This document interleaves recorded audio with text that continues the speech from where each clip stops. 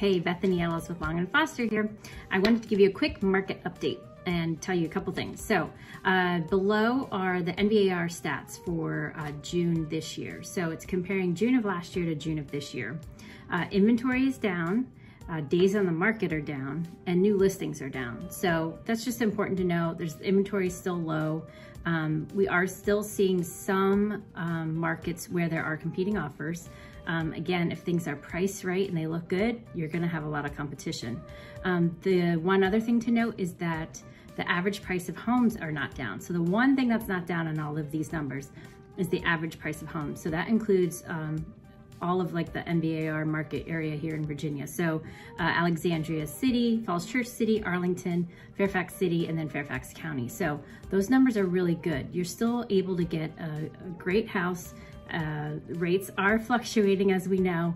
Um, just remember you marry the house, but you date the rate. So you can always um, refinance later. So it's really important to keep in touch with your lender so that you're, um, you know the, the rates and when you're ready to write an offer, what those rates are gonna be and how that could change your monthly payment. So that's important.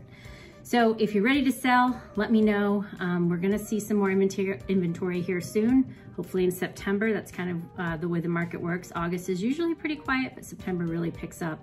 Um, and then also if you're purchasing, uh, let me know. I can put you in touch with a great uh, lender in our area, a local lender that's really important to use, a local lender um, that can get you a great rate and then um, communicate with you uh, about your rates and when you're ready to write an offer.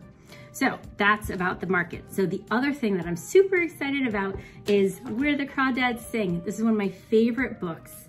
Um, I did a top three, and this wasn't in the top three because I forgot about it, but it is definitely one of my favorite books, Where the Crawdads Sing. Um, if you need a copy of the book and you haven't read it yet, let me know. I have extra copies. I'll drop one off at your house. Um, but I'm showing the movie. We're, we're gathering together to show the movie or to watch the movie on July 30th at 9.45. So we can go into the movie theater at 9.30 we're gonna have little grab bags and little um, giveaways and things. Um, and we start watching the movie at 9.45 a.m. So that's July 30th. So just text me, email me, let me know you're gonna come. Uh, I'd love to see you there. I have it reserved, ready to go. I'm super excited. I can't wait to see this movie. Um, so, and I'm here for you. If you have any questions or anything, um, I'm available um, reach out. Uh, feel free to give me a call or shoot me a text. I'm always happy to talk about real estate and books too. Take care. Bye.